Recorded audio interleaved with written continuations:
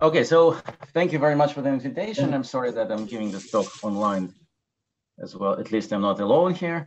Uh, so, um, so I have to apologize that um, there won't be, I mean, in the talk itself, there won't be, there will be a lot of sort of representation theory, geometric representation theory, and actually just geometry, but there won't be any kind of enumerative geometry. Although uh, what I'm going to talk about is um, uh, supposedly very much related to at least some other aspects which are discussed in this school. For, so for instance, uh, it's all motivated by some work of uh, physicists and uh, in particular, for instance, the, uh, some paper of Witten, paper of Mikhailov and Witten, which uh, discusses Khovanov homology a lot. So in particular, so there should be some connection with Khovanov homology, but I absolutely don't understand what it is. So, okay, so let me uh, briefly explain what the plan of the talk is.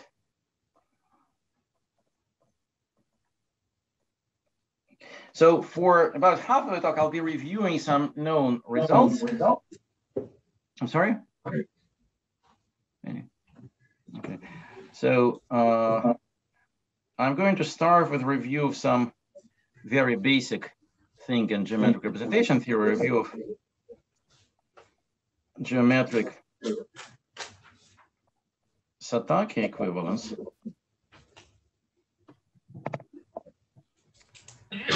Then uh, I'm going to uh, discuss another equivalence which is kind of similar to geometric Satake, but which is again, uh, I think pretty well known to um, uh, for, well, to sort of people working in geometric representation theory, but maybe less well known to other people. And uh, uh, this is what's called FLE, uh, uh, which is an abbreviation for fundamental local equivalence. This is a terminology that Dennis Gaitsgory is using. And uh, I'll maybe comment on the terminology when we get to it, and then we'll discuss Gaiotto conjectures, which should be thought of as some analogs of fundamental local equivalence. Uh, and then, well, if there is time left, which, you know, I'm not sure about that, then uh, uh, mm, uh then uh, I'll uh, talk about idea of proofs. Um, and this is a, recent joint work with uh, Finkelberg and Travkin, which has just been posted on arXiv yesterday. And um, Mm. So I should also say that I have given a very, in some sense, a very similar talk also in IHS, I think about two and a half years ago. But at that time, at that point, everything was just 100% conjectural. And now we actually have a lot of theorems. So I'll try to uh, sort of kind of emphasize that. But um, again, I'm going to begin with, uh, uh, I'm going to begin with review some known results. And uh, one thing uh, that I want, another thing I want to emphasize before I proceed is that, uh, well, I mean, in the end of the day, I'm going to get this to get, get to this Gaiotto conjectures, and then maybe we'll discuss the proofs of some special cases of them. But uh, uh, but the point is that for people working in geometric representation theory, this, these conjectures themselves uh, sort of quite uh, strange and I would say unexpected. And uh, I think that mathematicians would never be able to guess uh, those conjectures and physicists somehow can derive them from some kind of string theory calculations. And I'm absolutely unable to follow those string theory calculations. But somehow it's, uh, I think, pretty remarkable that uh, um, mm, uh, that by using this kind of very mysterious string theory calculations, uh, physicists can produce some conjectures which are kind of absolutely mathematical and also somehow uh, very reminiscent of some other things in geometric representation theory. But again, mathematicians somehow never did anything like that. All right, so this, this was kind of a preview. So now let me uh, start uh, uh, this plan. Uh, implementing this plan. So first of all, uh, what is geometric Satake equivalence? Well, so we work over uh, algebraic varieties over C, so everything over C. And uh, so we fix G, which in the end of the day is going to be GLN, but for now it's going to be just any connected reductive algebraic group, well, over C. Um, and um, mm, so the basic object that somehow which will appear on the geometric side for us is the affine Grassmannian of G. And so the affine Grassmannian of G is, uh, well, I guess uh, has been discussed in Joel's uh, talks, but let me still just fix the notation. So I, am going to join by K, the field of Laurent power series, and inside, inside there is a ring O, which is the ring of Taylor series, and then uh, we consider the affine Grassmannian of G, which is the quotient G of K mod G of O. And um, this, uh, well, again, I guess Joel discussed it. Uh, uh, and uh, so this is um, so an infinite dimensional object, but it's a pretty nice infinite dimensional object. So it's a, it's a, mm, union of uh, uh, projective, fine dimensional projective varieties. And in particular, the group G of K still acts there on the left, in particular G of O acts, and the orbits of G of O are fine dimensional. So in particular, see that the category uh, of uh, perverse G of O equivariant sheaves on the affine Grassmann. Well, so this is some category, this is some C-linear abelian category. And uh, mm, well, and this turns out to be in a natural way, it turns out to be a tensor category or symmetric monoidal category. So this is kind of you can write it as perverse sheaves on the quotient, on the double quotient G of K mod G of O mod G of O. And this is, again, this is kind of, I think the Joel more or less discussed something very close to that. So somehow you can use convolution, some kind of convolution product here to uh, to define the tensor, uh, the, ten, the tensor structure. And it turns out that it's going to be symmetric and, uh, you know, this duality and so on. And the basic uh, basic theorem here is that is the following. So kind of theorem, which is uh, which is what is called geometric Satake equivalence, is that this category, as a tensor category,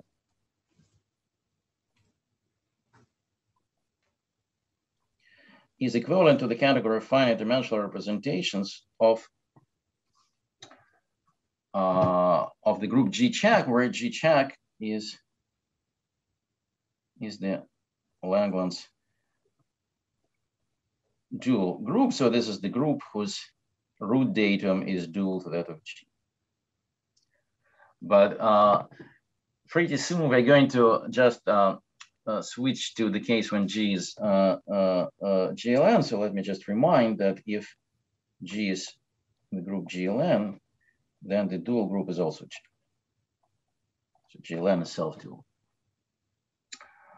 Okay, so let me first say why, the, I mean, let me first mention that this is a very good equivalence. So it's, so it's a starting point for uh, a lot of things uh, in, uh, well, in geometric representation theory or, or, in algebraic geometry. So again, again, I mean, uh, so this is very, uh, for example, important for uh, for Joel's course, but um, also, I mean, this is this is really the starting point for what's called uh, geometric Langlands correspondence. And in fact, this is a kind of categorification of some kind of classical Satake isomorphism, which is a starting point for usual Langlands correspondence. So this is a kind of very good equivalence, but uh, instead of talking why it is good, let me talk why it is bad. So, uh, so disadvantages of this.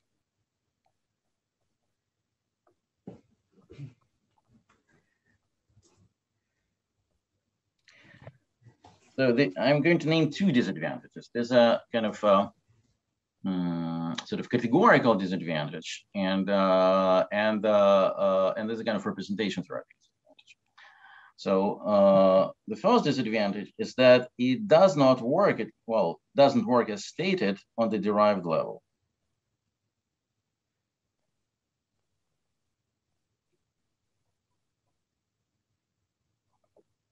For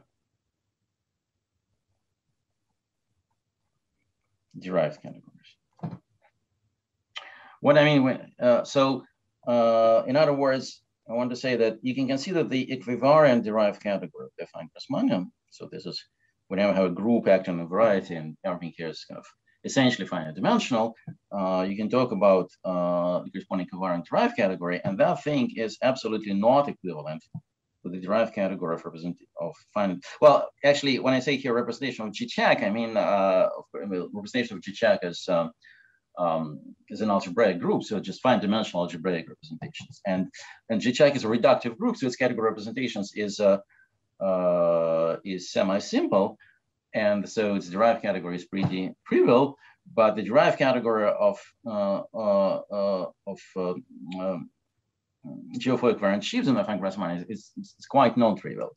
So um, so, so this thing is not equivalent. So in fact, it is known what this thing is equivalent to, and this is called, called derisive equivalence, which I actually uh, almost won't use. Well, I won't formally use it, but let me just, for the sake of completeness, let me mention what this is. So this thing is equivalent to the following thing. To I should take well, okay. What I'm going to say is going to be a slight lie, but I mean it's. Uh, uh, well, let me put uh, maybe bounded derived category here, uh, and uh, and then this will uh, and um, uh, well, I need, if I put some finiteness conditions, then what I'm going to say will actually be true. So she, here I should put, uh, I should take the Lie algebra of the Langlands-dual group. I should put it in homological degree negative two, regard this as a DG algebra with trivial differentials, trivial differential, then should consider the derived category of modules over this DG algebra. So whenever we have DG differential graded algebra, you can consider this differential graded modules and you can take, take the corresponding derived category. And I want them to be sort of, let me notation. Well, and also I maybe want to consider here, sorry, uh, finitely generated modules. And uh, here I want to consider G-check equivariant ones, which is which is which just means stuff. So I'll just denote it like this, but what it really means is that I can see the modules on which also the group G-check acts, and the action is compatible with the adjoint action on the algebra. So, uh, so this thing is, you know, it's not it's not a derived category of any abelian category essentially, and it's definitely not a derived category of a semi-simple. So, um, so the derived Satake equivalence is kind of much more complicated, although although it's also extremely important for many purposes. And in fact, uh, uh, for this um, story of Coulomb branches, it's also extremely important. Uh, but that's not what I want to talk about. So somehow, again, let me now view this as a drawback in the sense that somehow I have this equivalence between abelian categories, and I would like to have the uh, I mean, I would like to have a sort of slightly different setup where which would extend to derived categories as well. So that's kind of maybe a minor drawback. A more important drawback for me is that this uh, uh, geometric Satake does not extend literally to uh, quantum groups.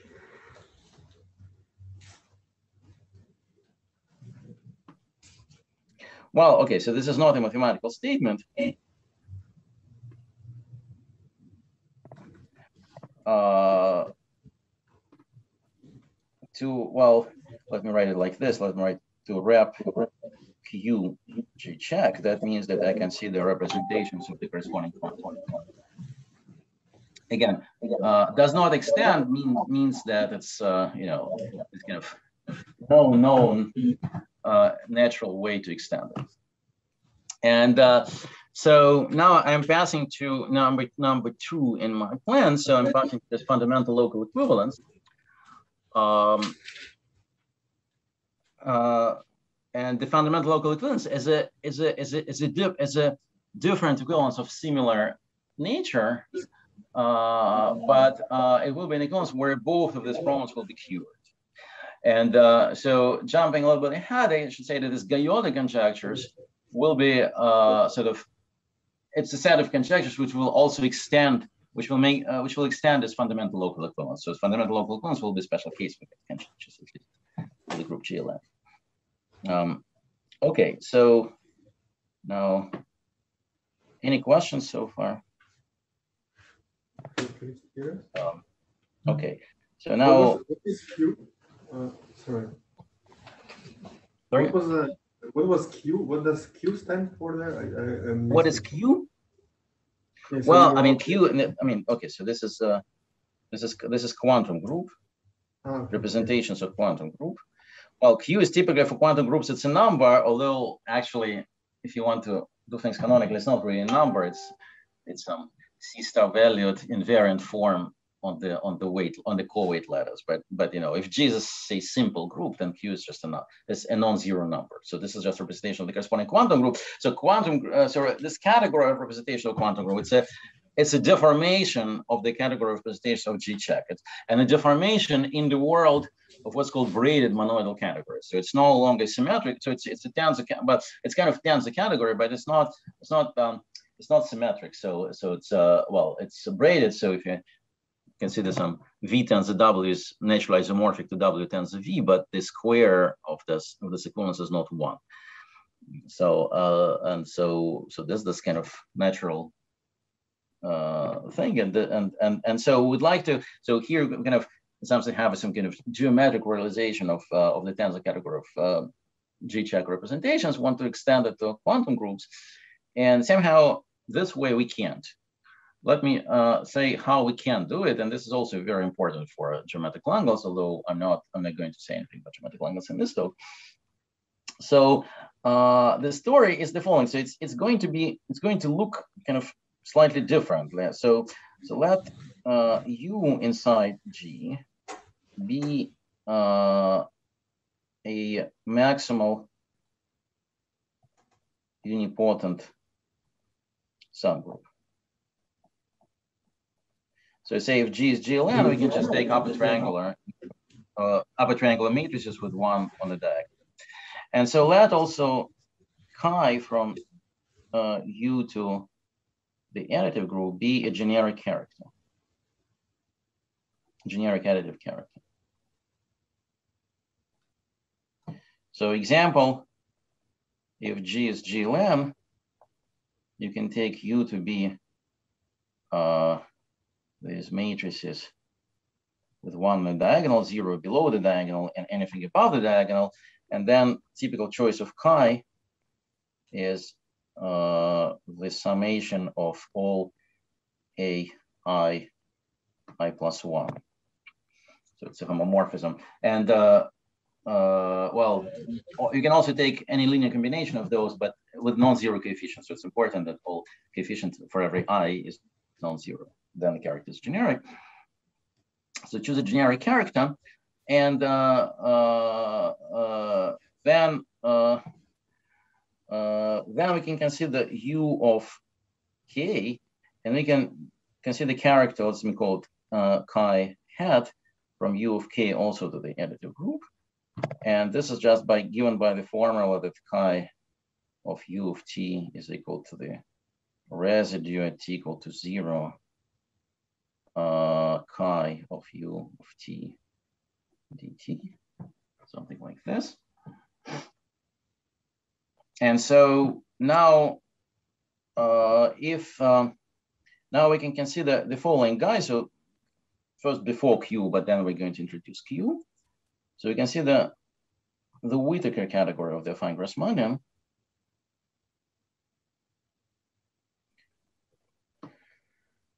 And this is by definition the put away the derived category of U of K, comma, chi hat equivariant sheaves on the affine Grassmannian. Now, let me note that here, even to define this, have to work a little bit uh, because I mean the difference between this and uh, uh, and what we did before with geometric set is that here the orbits of the group U of chi are U of k, sorry, are not um, are not finite dimensional, actually infinite dimensional. So somehow, uh, so this the, the, the, this setup is kind of more infinite dimensional than before, but sort of modern science uh, knows how to handle such situations uh, very efficiently. So somehow there's actually a rigorous definition. Moreover, what is actually much less obvious is that this category is also a tensor category. And here, I mean, here the problem is that there's no, I mean, but but the, the tensor product is not going to be given by convolution. The, the, the, there's no kind of convolution here.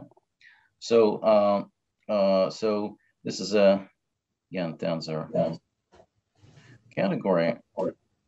But here you will actually have to believe me how to define. Uh, well, let me just say that for people who know this word, the tensor structure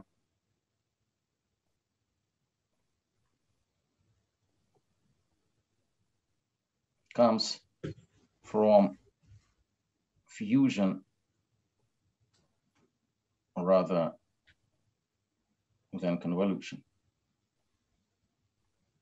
Yeah, I should also say that when I say derived category, so so here, well,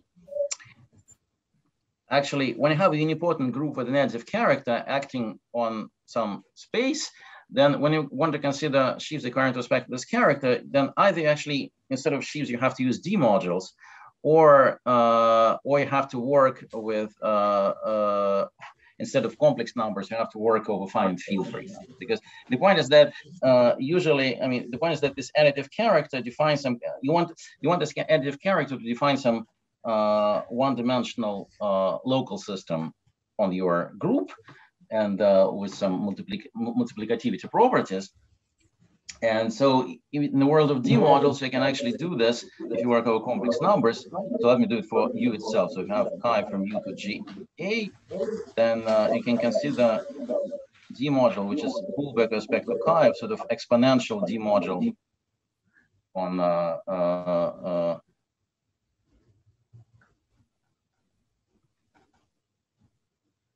on the affine line on the on the additive group, and that's that's going to be one-dimensional local system on U, which sort of uh, which has some factorization property, and uh, so therefore you can talk about sheaves equivariant with respect to, or D modules rather equivariant with respect to this thing, or uh, another sort of equivalent way is to work over finite field instead of complex numbers and work with l-adic sheaves, and then uh, you can use the Artin-Schreier sheaf, uh, the pullback, sorry, of the Artin-Schreier sheaf with respect to chi. And then, uh, so this, so this is about what what is meant by this uh, uh, by this category of sheaves equivariant or D modules equivariant with respect to this group. So, so I mean, I mean, most people are used to a notion of sheaves equivariant with respect to action of a group. So there's a uh, so the claim is that there is a kind of uh, enhancement of that. So if you have a uh, either additive or multiplicative character of the group, you can actually uh, uh, talk about sheaves uh, equivariant with the to action of this group uh, with a character. And if, if this is an additive character, then either should do it in the language of D modules or should work with l-adic sheaves or finite So let me not worry about this. Uh, so, and the tensor structure, so the tensor structure is defined in such a way. So we actually work, define Grassmannian is related to formal disk. And uh, uh, in order to define tensor structure, we need to use an actual algebraic curve instead of formal disk and let some points uh, move over that curve and, and, and let, let, them collide and so on. So this is kind of typical uh, sort of fusion, which I don't have time to explain, but again, you will have to just believe me that uh, there's a, there's, the, the, there is some tensor structure here, but it's kind of defined. Yeah, I can actually define for the for geophilic variant sheaves as well. And uh, for, for the abelian category, I actually get the same tensor structure, but in the derived category, we actually get a different structure. So, but okay, let me not go into this. Mm. Um, all right, and so kind of Thor's theorem is that this Whittaker category of the Grassmannian is now equivalent again. Well, I mean, I'm using the derived category already, so it's just the derived category of again representations of G-check. So in some sense, this Whittaker category is much simpler than uh, on the derived level. It's much simpler than than the Satake category because even on the derived level, um, it's the same as representation of G-check. So now, where's the quantum group here? So the claim is that you can actually upgrade this to quantum. So let me talk about this. Any question before that?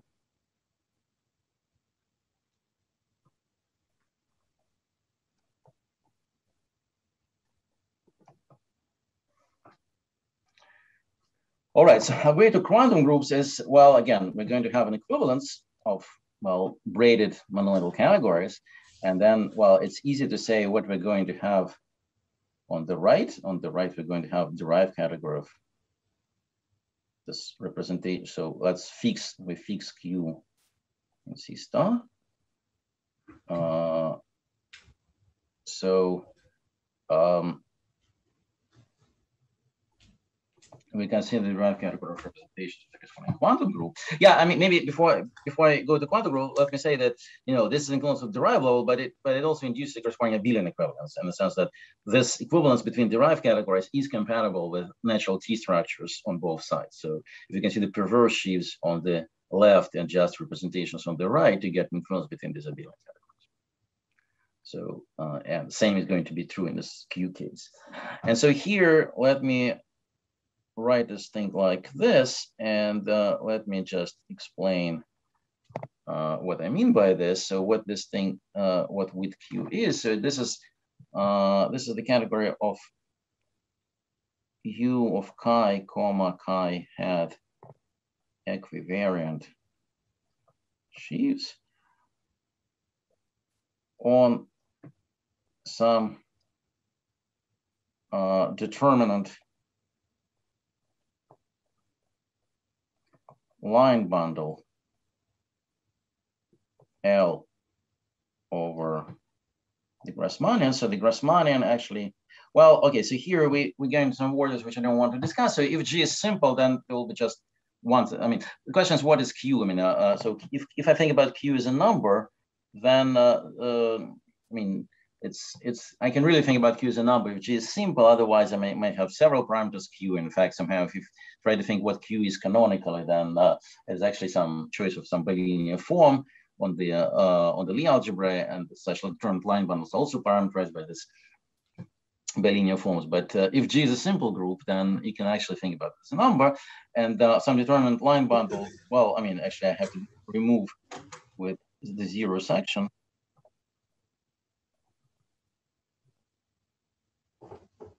zero section removed. Uh, on, I mean, when I say on the line bundle, means on some, you know, some total space of this line bundle, uh, which have monodromy Q along the fibers.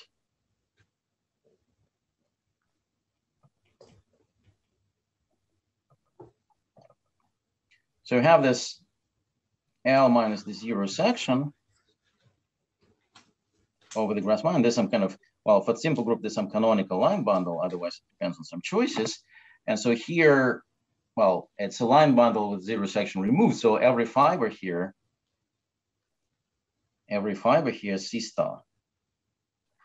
And so we can see the sheaves, we can extend some kind of twisted sheaves. So we can see the sheaves in the, uh, well, not, I mean, you can do it for any uh, for any variety of the line bundle, we can consider Q twisted sheaves. That, that means that we can consider sheaves not only a variety, but on the total space of this line bundle with, uh, without the zero section, which have monodromy Q. Uh, I mean, the fundamental group of the, I mean, such, I mean, they're, they're going to be uh, on every fiber, it, this thing is going to be a local system and uh, the monodrome is going to be So this again, this is like extremely general procedure in uh, uh, which is used in geometric representation theory all the time for many for many very, for many purposes. So um, and uh, uh, so and then let me go back. So then we have this equivalence, which is again this is a braided monoidal equivalence. Now, if you haven't seen this before, and, and if you're following what I'm talking about, you might ask, why couldn't I do this for the original Satake equivalence? I mean, I could have tried uh, to take uh, uh, also geophoric variant perverse, uh, geophoric fancy perverse sheaves again on the total space of this line bundle with monodromic Q. And uh, the question is that, and the claim is that that, that would not work. And uh, so, for instance, if Q is not a root of unity, it turns out that if you consider geophoric variant sheaves, then there will be essentially no geophoric variant sheaves uh, with monodromic Q almost all of them. Uh, I mean, there will be just, uh, well, if G is simple, there will be, uh, there will be just one some kind of trivial. I mean, the, this category will be just a category of vector spaces. Uh, so, so somehow it happens that uh, if you consider, uh, if you do it with equivalent sheaves, if you, if you, if you consider this Q twisting, then the category becomes much smaller. I mean, for it, for if Q is root of unity, it will become just smaller. If Q is generic, it will just essentially collapse. And uh, but for this Whittaker category, that's not the case, and we get this close. Okay. Any questions? So this is uh, this was the review of this fundamental local equivalence. And uh, now I should say that maybe I, I should uh, some uh, so this was uh, this uh, FLE uh, FLE was a conjecture of Jacob Lurie and then and uh, and then was proved by uh, Gaitsgory for generic Q, and then by Gaitsgory and Lysenko, and independently, I think by Zhitao Yang.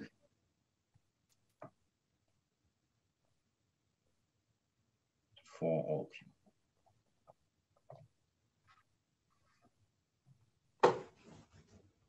All right. Okay, so I'm I'm exactly more or less at halftime. So um, um, so this was uh, this was a review of some known results. Uh, so now uh, let me go. Unless there are any questions, let me go to Gaiotto conjectures.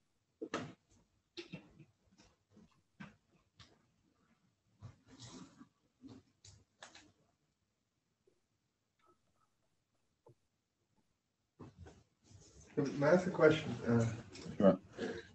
Could you go back to that statement of the equivalence of uh, categories, the, the last one that you had? Which one? This one? Yeah, that's, yeah, so th- then you have just sheaves, coherent sheaves, or wh- which sheaf, perverse sheaves? No, no, there, there are no coherent sheaves anywhere. Yeah, No, no. okay, so it's No, no, perverse sheaves. coherent, coherent sheaves do not appear here, here anywhere. Yeah, Sheaves, sheaves means constructible. Sheaves, or actually, I mean, I said that, I mean, when you work with, with this Whittaker category, either, should work with constructible sheaves um, over finite field, or I should work with corresponding D modules. Because, I mean, the ones that they kind of, th- this sheaves, uh, say over finite field, they, they're going to be not tame. So in particular, or the corresponding D modules will not have regular singularities. So, but again, this is, yeah. this is a mild, this, is- this is not a very important point. uh, and again, I mean, I mean, even I mean before that. So, so for, okay, so here, so here, for instance, in this equivalence, uh, uh, so I mean, in this definition, same thing happens, and then you know, if we consider this this uh, theorem, then here all sheaves are constructible. And actually, if you go back to this Satake equivalence, then again, uh, here on the left, you can see the construct. I mean, when, when you work with perverse sheaves, I mean, it means that you you construct you. Um, uh, you work with constructible sheaves. Mhm. So, so it's rather, you know, in some kind of more general setups related to geometric Langlands, you have usually kind of it's a typical situation that you have a sort of uh, um, constructible side and coherent side, and so. I mean, you know, here, if you look, for instance, this equivalence, then this is this is the left-hand side, and and the, the right-hand side representation of G check, you should think about it as, as coherent side. So it's, it's rather because it's actually coherent sheaves on the stack point mod G check, and uh, uh, uh, so and uh, so, for instance, if you look at this derived Satake equivalence here, then this is also sheaves on actually coherent sheaves on actually some derived stacks. So, so somehow usually it's a kind of typical situation. We have some equivalence where on the left you have some constructible sheaves, and on the right you have some coherent sheaves and so on. And uh, uh, but in this Q case, somehow it's slightly different because you don't. I mean, this this coherent side becomes sort of um, well, it becomes kind of Q twisted. It's, I mean, it's not really coherent sheaves on anything anymore. Anyhow, so uh, so let's proceed to together. Because so so now uh, the idea is that uh, uh, so Gaiotto produced some. Uh, so can uh, uh,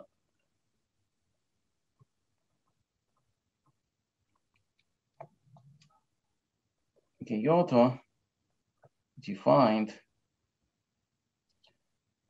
uh, so let me actually, um, sorry, let me let me uh, say one. Uh, let me uh, one notation. So fix now two numbers, two natural numbers, m and n, and I assume that uh, uh, m is less or equal than uh, n, just for simplicity.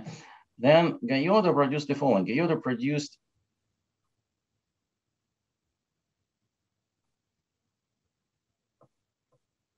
a geometric category. By geometric category, again, I mean, it will be some category of some kind of sheaves on uh, mm, some kind of a affine Grassmannian, produce a geometric category. Uh, uh, such that, uh, which is equivalent, let me say it like this, which is which is conjectural equivalent.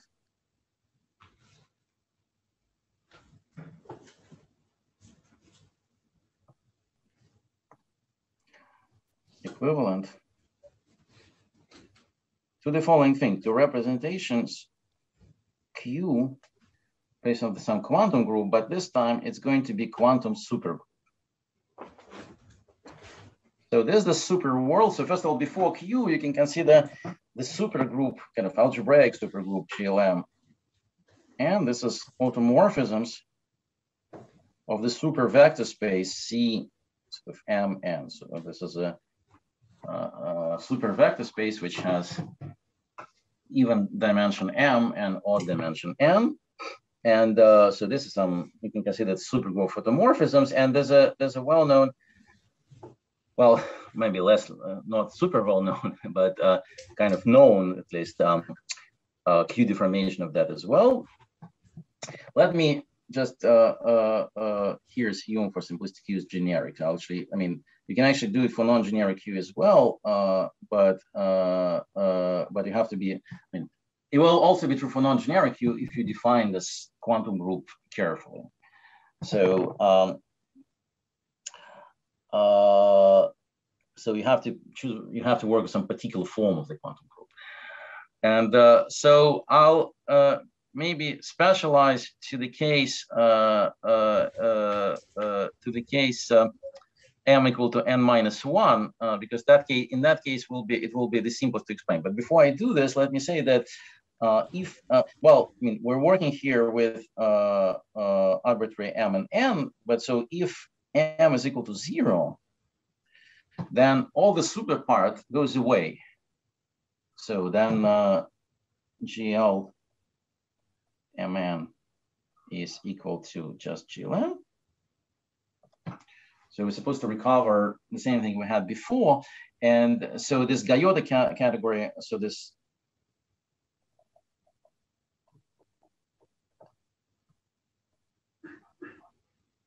will become just with this Whittaker category of the affine Grassmannian of GLM.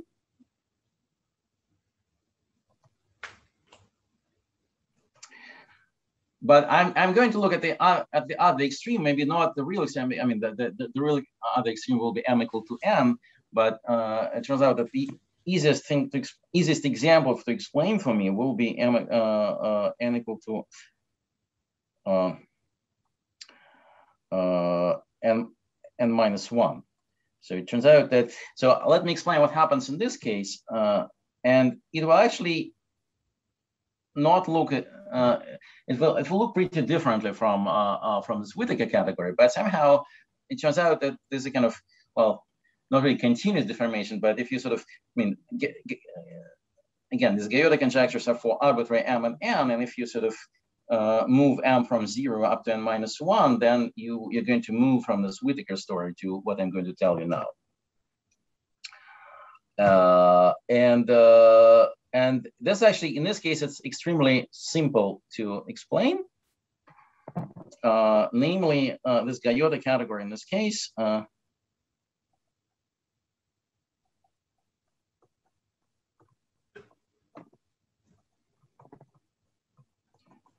is the following thing. Let me write it and then I'll explain it. Well, is, uh, well, again, we, we can work with abelian categories or with derived categories. Let me actually work with, uh, uh, let me formulate the statement for abelian categories. Uh, but then the claim is that the same thing will be true for derived categories as well. So think you can see the perverse sheaves on the affine, affine Grassmannian of GLM. Well, I need to put Q here because uh, uh, because uh, um, I want to do for quantum group, but in particular, I will be able to specialize it to Q equal to one as well, but uh, I, I will have to do it carefully. And so uh, what you should put here should put things equivariant with respect to GL n minus one of all. So here I have the group GLN minus one can be naturally embedded into the group GLN, just in the most stupid way possible. So namely, you can see the just matrices like this. You can see the matrices which have one here, uh, and then arbitrary thing here. So this is uh, this is just uh, GLN minus one sitting inside GLN, and you can consider the things inside GLN minus, uh, which I correct respect to GLN minus one O. So it looks like so from so kind of symbolically, it looks a lot like the geometric Satake equivalence. But it turns out that uh, that it behaves much more like this FLE than uh, than the geometric Satake equivalence. Uh, so uh, okay, so now if you want theorem, which is written now re recent, so and again, so I should say that uh, I'm only considering this example of m equal to n minus one, but uh, there's a maybe I should uh, I will uh, make some comment in a moment uh, what happens for uh, for other m's. But right now you can see the only an example when m is equal to n minus one. But in this case, we have a theorem that this category, well, holds both abelian and derived level. The category of perverse GLN minus one all equivariant sheaves um, with Q on the fine Grassmann of GLN is equivalent to rep Q GL and M N. Well, uh, the only thing is that I need to I need to say one thing careful. So somehow, of course, when, when you start, let's forget about Q for a second. So if you start a category of representations of an algebraic supergroup. Category of representation of algebraic supergroup, I mean, algebraic supergroups will usually act on super vector spaces. So you should consider, uh, uh, so, so the meaning of this is we the representation of this in super vector spaces. And then let's put also the letter S here. And the letter S here means that we consider perverse sheaves, or we consider constructible sheaves with coefficients not in vector spaces, but in super vector spaces that makes perfect sense. And then somehow, I mean, th this is what you need in order for this to. Uh, uh, so this is again a braided monoidal equivalence.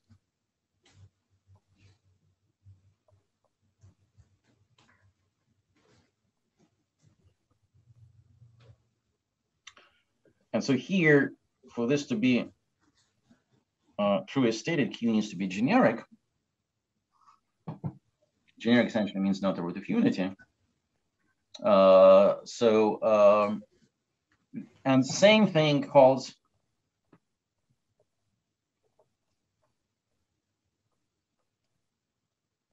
for derived categories.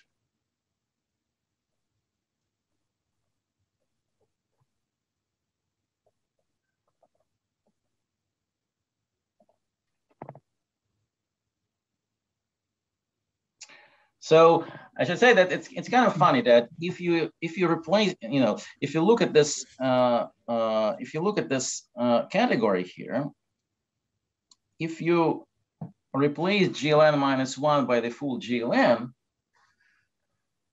then uh, uh, then somehow things become very different because first of all, uh, I should say that somehow on the, the if you can see the corresponding derived category, it will not be the derived category of the abelian category.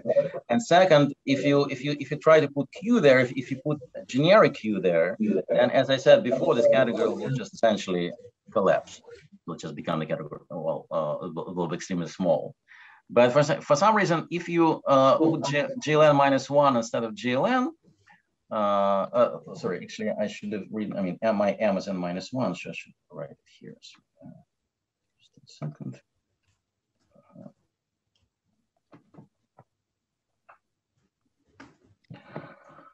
So, uh, um, so if you uh, put GLN minus one instead of GLN, then somehow miraculously uh, all the problems disappear and you get this thing. Now there's some kind of uh, also funny combinatorics here because for instance, uh, these representations of the quantum or even non-quantum, just usual supergroup uh, in one-to-one correspondence was actually reduced representation of its even parts. So note that the even part of this group is just uh, GLN times GLN minus one. So, and uh, this should have something to do with the orbits of this group GLN minus one O on the Frank minor of GLN. And the claim is, that, so the claim is that this group has discretely many orbits and uh, and the orbits are parameterized by pairs of dominant weight, dominant weight of GLN, dominant weight of GLN minus one. That's kind of, uh, uh, I mean, such things happen pretty rarely. I mean, usually if you put some, some kind of um, random group here, then it will not have discretely uh, many orbits on the affine Grassmannian, but this one does. Mm, now, let me make some comments about this. Uh,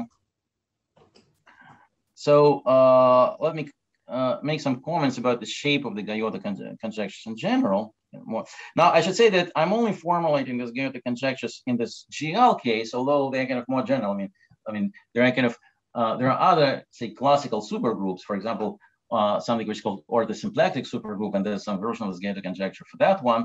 Uh, uh, but let me stick to GLM case uh, conjectures for, let's see, arbitrary.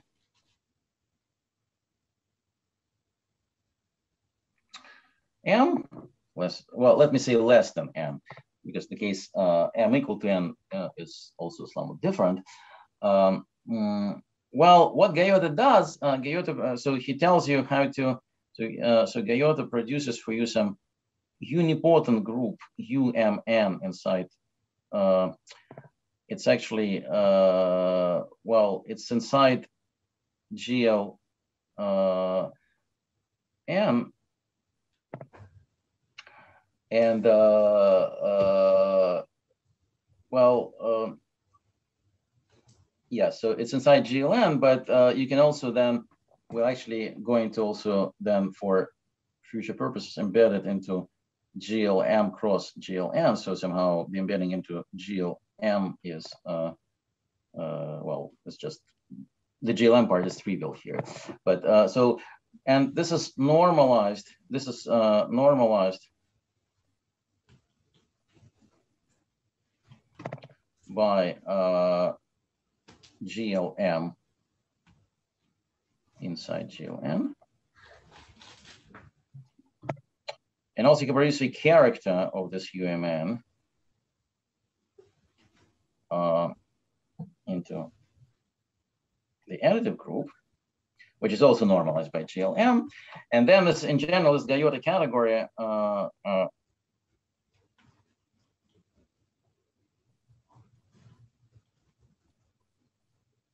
category is the following guy. It's you can see that well let me consider derived category, category of perverse sheaves, well, me put perverse sheaves. Uh, variant with respect to GLM O semi-direct product UMN of K, well, comma, chi hat. So similar notation as before, I should also put this Q here, and I should put the affine Grassmannian of GLM.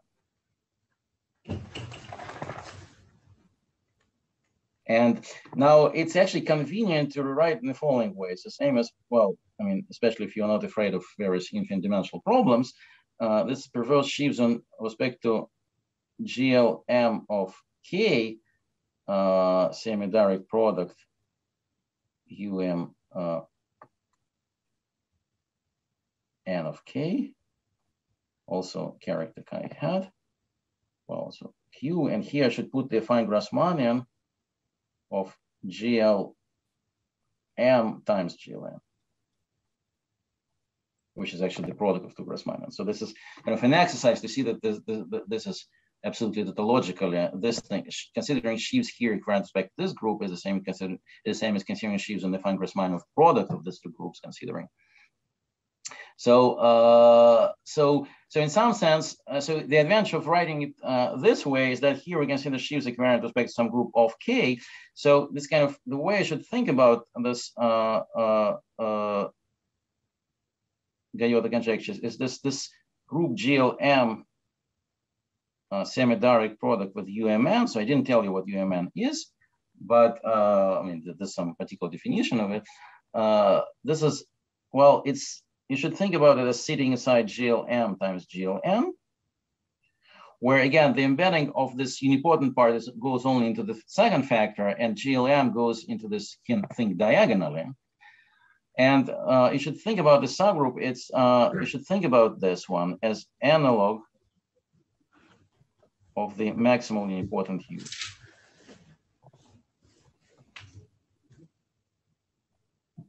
So it's analogous in, in many respects. So for instance, has the same uh, you sort of in uh, for, for again for this group for uh, for U inside GLM cross GLM.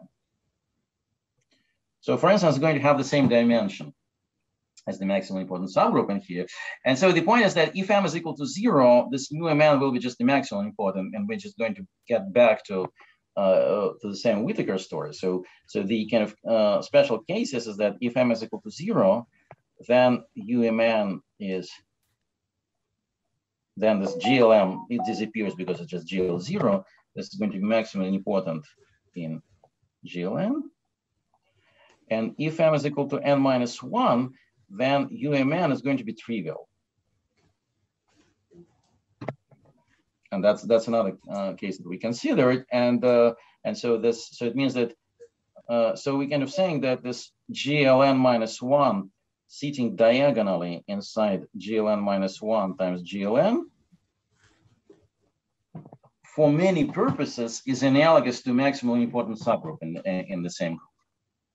For instance, you can do uh, a simple exercise and check it has the same dimension.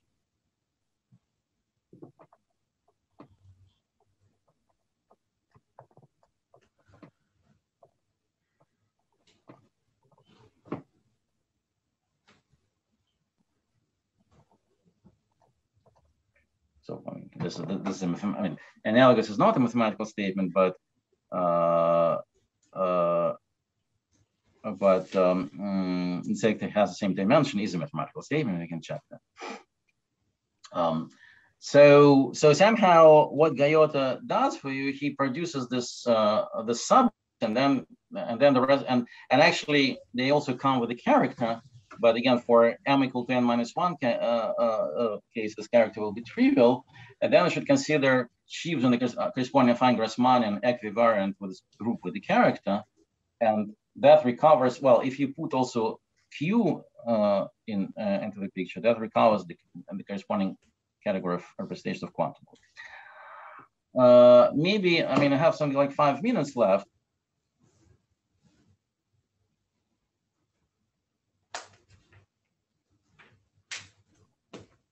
Sorry, I uh, some point my Zoom uh, uh, stopped working. But if I, uh, can people hear me now? Yes. Yeah. Okay. Let me discuss briefly what happens in Q equal to one case. And this is subject of uh, our previous paper from two years ago. Uh, this is a joint paper with uh, also Finkelberg, Travkin, and Ginzburg.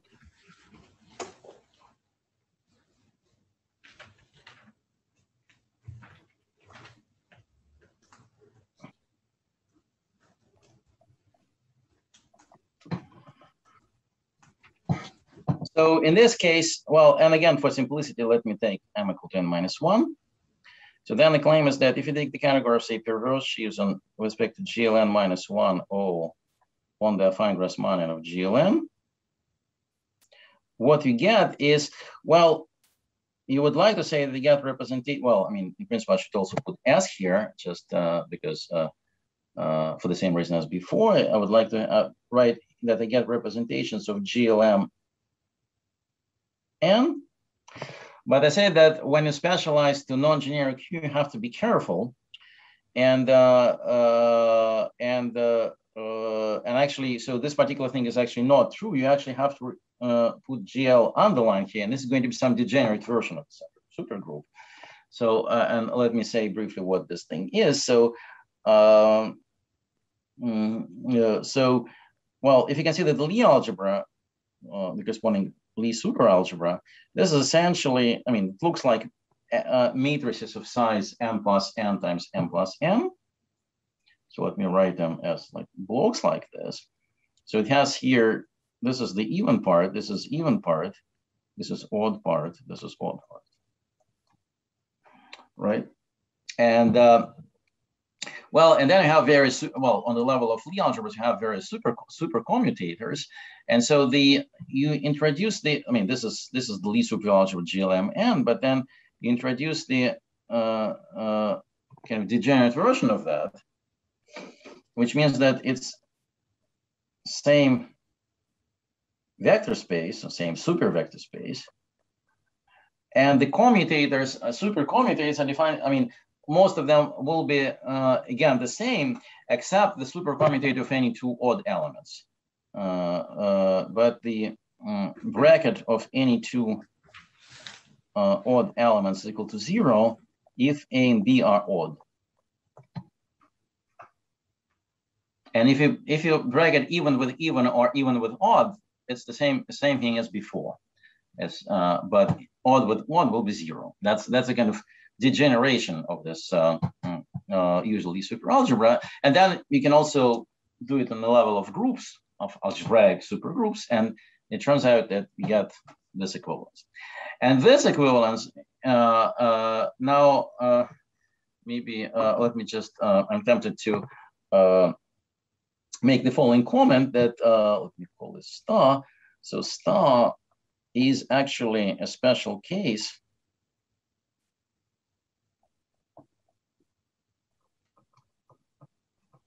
of uh, another set of conjectures.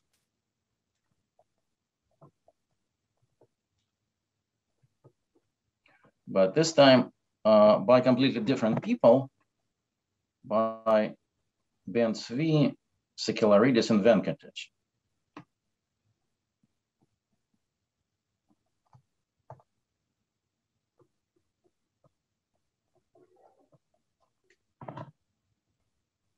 And uh, those conjectures are motivate, they're kind of supposed to be categorical version of uh, a lot of known results about special values of automorphic L functions.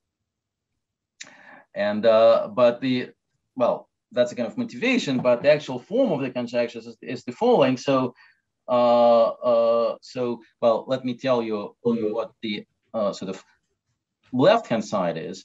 Left-hand side is roughly of the following sorts. You can see there's some group G as before, and inside you can see there's some H, which is a spherical subgroup. subgroup. And spherical and means that, uh, I think somebody's microphone is on. H uh, has an open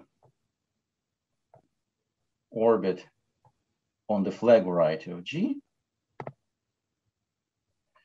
Maybe say, give an example that, for example, this GLN minus one inside GLN minus one times GLN is spherical.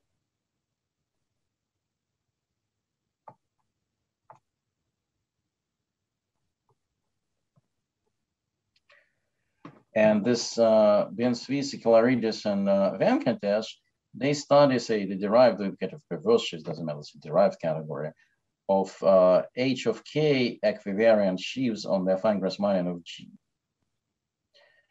And uh, they sort of describe what it's equivalent to, but it will take me some, I mean, I don't want to do it right now, but uh, it's described in terms of some kind of dual groups and some representation of some dual groups. So this is uh, uh, some well, they have some precise conjecture, and uh, this precise, but uh, this precise conjecture uh, is based on some kind of theory of the spherical subgroups. Uh, and so this, and this theory of spherical, uh, and so it's based on some theory of uh, spherical subgroups. And um, so, but the real sort of motivation for them is to, well, partly prove and partly build up on some results about automorphic L functions. So somehow, if you look at this example, if you go back to this example, that uh, on the one hand, so so let's let's look at this equivalence. So I said that on the one hand, it's a special case of this equivalence of uh, Ben-Zvi, Sakellaridis, and Venkatesh. On the other hand, it's the Q equal to one specialization of this conjectures of Gaiotto, which are motivated by some completely different things and uh, by some, again, calculation of string theory, which I'm unable to, to reproduce or to, or to understand. Uh, now, unfortunately, these conjectures of Ben-Zvi, Sakellaridis, and Venkatesh have no known Q version. Um, and so I actually talked to them and, uh, and it is not uh, and they're really, uh, uh, well, it's not clear how what to do there. Um, but on the other hand, somehow the conjectures are much more general because they're, well, not, well, because there are many, many situations when you can actually talk about the spherical subgroups and when there's no supergroups. So I don't really know what's going on here. And again, the most surprising thing for me is that, uh, I mean, uh, especially if you go back to this uh, uh, uh theorem that um, I uh, wrote here, then again, it's, you know, if you look at the formulation, it's not something that you might expect to be corollary of string theory calculations. but, but somehow it is, and again, you know, mathematicians weren't never able to, to produce such a conjecture, and uh, and, and even after this conjecture is formulated, somehow uh, uh, I don't know how to sort of motivate it mathematically. So that's one thing I want to say. The other thing I want to say is the other thing I was planning to say, but I don't have time for that, is, uh, uh, is say a few words about the proof. Let me just say that the proof is similar, although slightly more complicated. Uh, uh, it's similar to the proof of the original FLE by Gaitsgory, and it goes through some kind of, and it's build it builds up upon uh, uh, upon um, some work, old work of uh, Bezrukavnikov, Finkelberg, and Schechtman, uh, who realized uh, the category representation of a quantum group in terms of certain factorizable sheaves, and later on, Lurie somehow explained why why the work is sort of essentially trivial from uh, factorization algebra point of view or from E2 algebra's point of view. Uh, so somehow something like that is also used here. So also uh, uh, do that not just for usual quantum group, but also for quantum supergroups. And so you realize that in terms of some kind of uh, some kind of category factorizable sheaves on space of configuration points on the curve, and then uh, uh, use some kind of similar argument to those of Gaitsgory to prove this. Uh, and maybe last thing I'm going to say is that there should be an analog of this. I mean, again, well, I know how to formulate it, which is don't, don't have a formal proof yet. Uh, when instead of uh, the category defined dimensional representation of a supergroup, you use, uh, you get uh, uh, uh, category O for that, for a particular choice of a Borel sub. I should say that in the quantum supergroups, there's a notion of Borel sub subgroup of Borel subalgebra, but unlike in the usual case, not all of them are conjugate. So for, for a particular choice of Borel, you can look at the corresponding category O, and uh, that should be geometrically realized uh, in similar terms, but instead of the affine Grassmannian, you should use the affine flag variety. And uh, well, there's some kind of representation theoretical application of that because in, in this way, you actually, you can actually use that to get some character formulas for simple modules in category O for, for supergroups, which are actually not known but uh, uh, uh, but I should. but again, th th this is maybe not my main interest. My main my main in this kind of twofold. So one or maybe threefold. One is to understand how physicists are able to actually produce such statements. Second is to understand the better the connection to this work of Ben-Zvi, Sakellaridis, and Venkatesh. And third is that uh, something again I don't have time to talk about, but uh, it is actually clear that these results are uh, very uh, can be used for uh, various, uh, well, for applications to something which is called quantum geometric Langlands program. But again, I don't have time to talk about this, so I think I should better stop here. Thank you very much.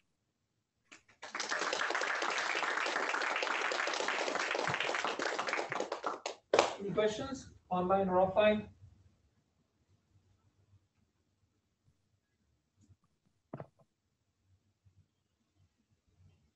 So what kind of uh, physical calculations you were talking about exactly?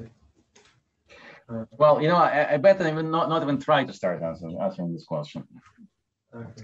Well, I mean, it's just, uh, you know, it's, uh, for instance, there's this paper by uh, and Witten. So there they somehow, on the one hand, they have Chern-Simons theory for the corresponding supergroup. On the other hand, they started uh, three-dimensional Chern-Simons. They, they, they started as dual and somehow it's it has to do with sort of some branes uh, colliding and so you know, I mean, I'm, I'm, I mean, uh, you know, I, I made some kind of effort to uh, understand this word, but I'm absolutely unable. But, uh, but it's, it's, it's very much connected to this work of Mikhailov and Witten to the, to paper, to old, um, to some, well, not very old, but like from 12 years old papers by Gaiotto and Witten about boundary, supersymmetric boundary conditions in four-dimensional gauge theories and so on. So, uh, so for instance, even if you look at these papers by Gaiotto and Witten, then you see that somehow they produce some relation between supersymmetric boundary conditions and supergroups. So it's it's um, uh, boundary conditions for, for gauge theory for usual kind of even groups, but uh, some kind of interesting boundary conditions for them are related to uh, to, uh, to supergroups. And, uh, and then when, when you start the S duals of those boundary conditions, then somehow when you can actually compute them and I mean the computation, well, I mean, the actual statement, sort of, I can actually formulate a kind of physical statement, which is uh, essentially almost equivalent to, uh, to this theorem. Uh, and that involves field theory, that involves four-dimensional field theory. So it's really a statement about one boundary condition going to uh, some other boundary condition under S duality.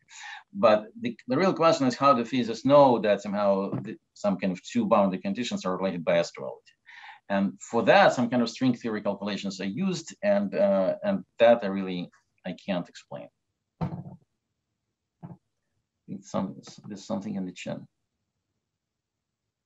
Oh, okay. Any other questions?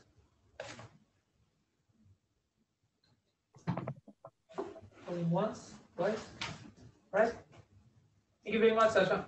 No, but we Yeah, have a also- question. We uh, have one more Q and A. Yeah. All right. Almost hit the buzzer.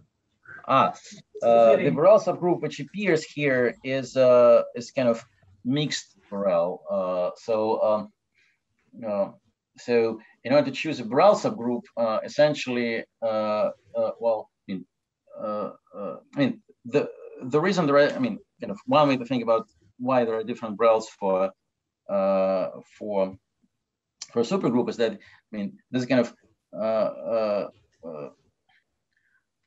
I mean, okay, so if we're working with just GL thing, you know, Borel subgroup and GLM are just flags.